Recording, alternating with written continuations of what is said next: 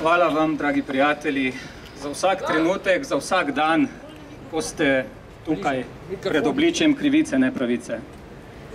Hvala vam, ker vam je mar za pravico, ker vam je mar za demokracijo, ker vam je mar za Slovenijo. Prišel bo dan in verjamem, da ni tako daleč, ko bo ta sramota in preko nje tudi vse ostale sramote, ki smo jih bili deležni v imenu pravičnosti iz obličja iz tega sveta izbrisana.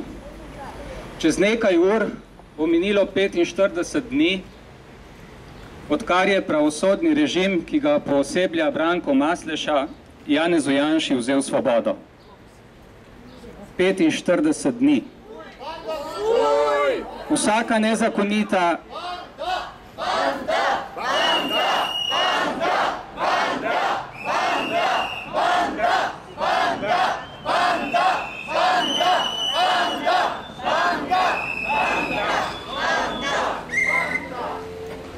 Vsaka nezakonita sekunda, minuta, ura, dan, ko je nekdo zaprt po krivici, je nepovraten.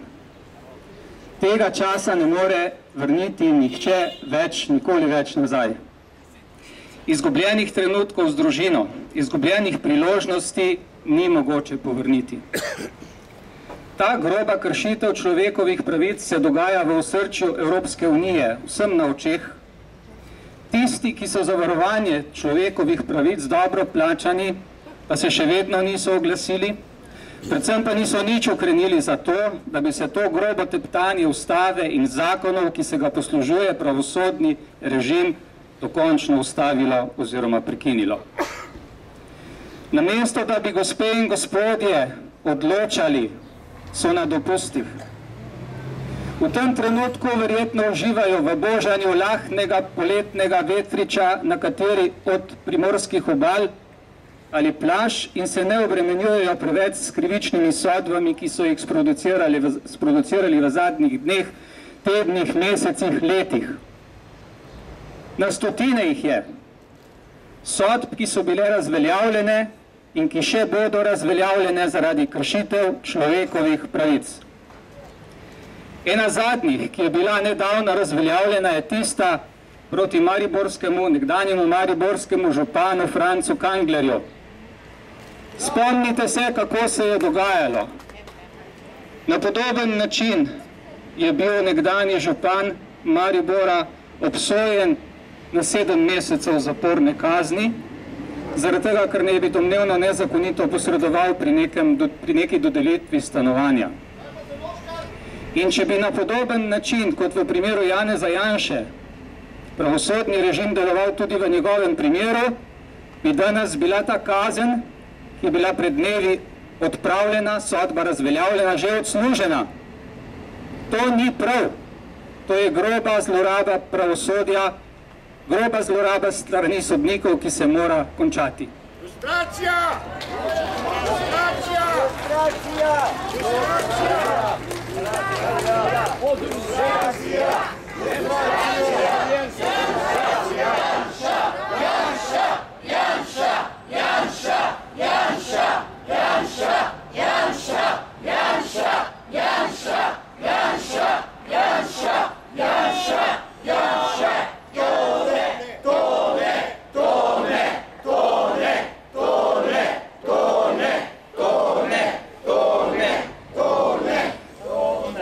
režim vseeno hitel takrat.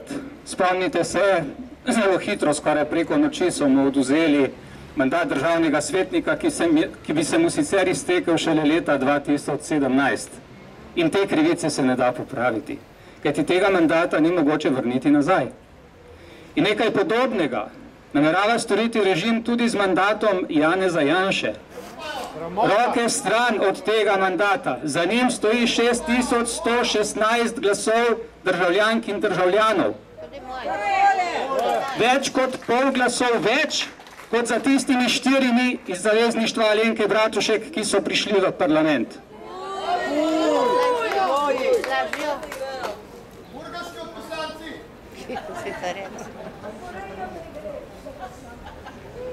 Čeprav bo čez nekaj ur minilo 45 dni od tega nezakonitega zapora, vse do danes nismo slišali, zakaj je pravzaprav Janez Janša zaprt. Do danes, do danes, tovariš Branko Masliša ni znal povedati razlogov, zakaj je Janez Janša zaprt. Kaj ti?